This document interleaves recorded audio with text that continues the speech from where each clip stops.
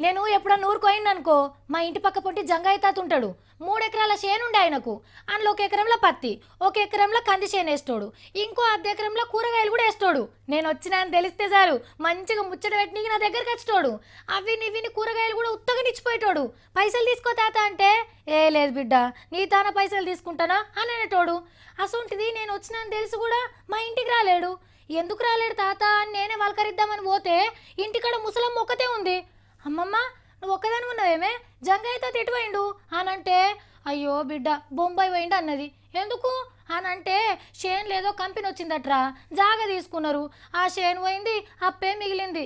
అది గట్నీకి బొంబాయి పోయిండని చెప్పింది.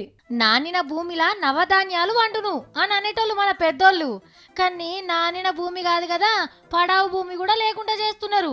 చివరికి సూది పట్టేంత సందు లేకుండా చేసినా చేస్తారు కావచ్చు. ఏడాదికి ఒకటి కాదు రెండు కాదు ఏకంగా పది లక్షల ఎకరాల భూమి మాయమవుతున్నదట మాయమంటే గద్ద చెతకపోతున్నదా లేకుంటే జేబులో పెట్టుకొని తిరుగుతున్నారా? అని మీకు డౌట్ రావచ్చు. రియల్ ఎస్టేట్ గద్ద భూమి దందా చేసేటోళ్ళు కంపెనీలను పెట్టి ఇట్లా వ్యవసాయం భూమిని ఏటింత మింగుతున్నారు? లెక్కకైతే వ్యవసాయానికి వనకొచ్చే జాగల కంపెనీలను పెట్టొద్దు. అసొంటి లెక్కలేం చూడకుండా మొత్తం దొక్కేస్తున్నారు మోదేవర్లు గిట్లా పట్నం శివార్ల పొంట యాడ చూసినా రాతి కడవలు వాతిన భూమిలే కానొస్తాయి ఇక ఊర్ల పొంటున్న చిన్న సిత్క రైతులు అప్పో సొప్పో చేసి ఇత్తులేస్తే పెట్టుబడులకు కూడా వెళ్తలేవు ఎంత చేసినా ఎల్లక ఉన్న భూములు నమ్మి పట్నంలో కూలి పనికొస్తుండు ఇక ఇట్లా వేస్తే రైతు అనేటోడు ఏడగనిపిస్తాడు.